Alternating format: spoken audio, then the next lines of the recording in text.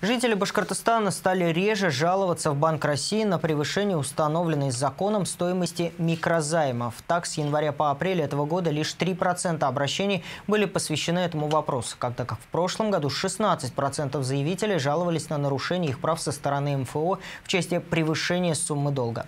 По закону кредитор не может начислять проценты бесконечно. Так, общая сумма всех платежей, включая проценты, штрафы и пени с начала 2020 года не должна превышать сумму долга более чем в полтора раза.